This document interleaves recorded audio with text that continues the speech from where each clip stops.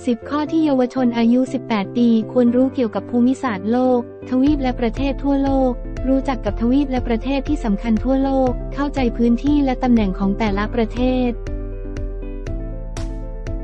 มหาสมุทรและทะเล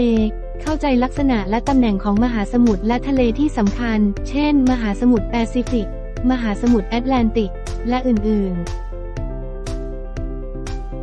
ภูมิศาสตร์ธรรมชาติ รู้จักกับลักษณะของภูมิศาสตร์ธรรมชาติ เช่น ภูเขา แม่น้ำ ทะเลสาบ ป่า ทะเลทราย และทัศนียภาพธรรมชาติที่น่าสนใจ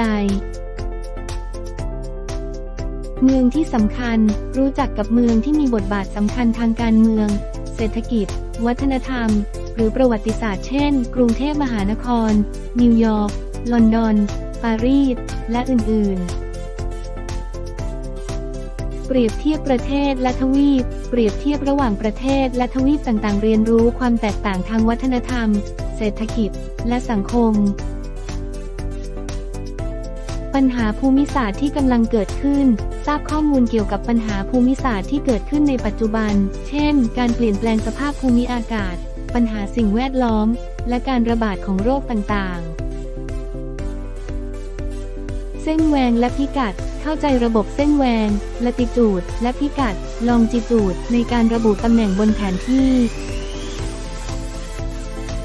ทรัพยากรธรรมชาติ เรียนรู้เกี่ยวกับการใช้งานและการรักษาอย่างยั่งยืนของทรัพยากรธรรมชาติ เช่น น้ำ ป่า แร่ธาตุ และพลังงาน การย้ายถิ่นฐานและการเปลี่ยนแปลงทางธรรมชาติ ทราบถึงการย้ายถิ่นฐานของประชากรและสาเหตุที่เกิดขึ้น เช่น การเมือง การตลาดแรงงาน และปัจจัยธรรมชาติ เทคโนโลยีและการสื่อสาร รับรู้ถึงการใช้เทคโนโลยีทางการสื่อสารในการเชื่อมต่อทั่วโลก เช่น อินเทอร์เน็ต โทรศัพท์มือถือ และสื่อสังคมออนไลน์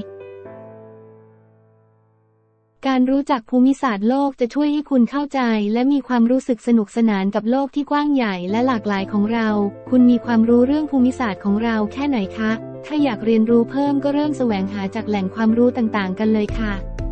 ขอให้สนุกนะคะ